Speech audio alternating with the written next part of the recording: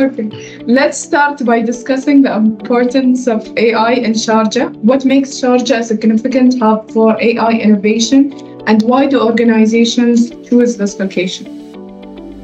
Well, that's an, a, a, really great question there. But firstly, I'd like to say thank you very much, and uh, thank you very much for your for, for the for the new host that we have speaking. Um, Sharjah has been fostering a thriving innovation ecosystem for some time and its commitment to technological advancement makes it an ideal destination for AI initiatives, right? Now, this emirate has been a substan- has, has made substantial investments in research and development, and what it's done, it's created an environment which supports cutting edge technologies such as AI.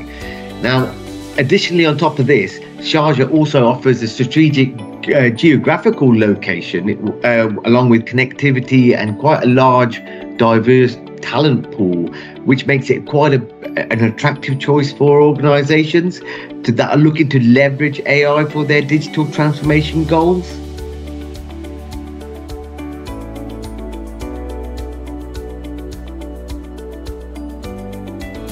You can listen to the full version of this recording on YouTube, Facebook, and Spotify. Until next time, keep innovating.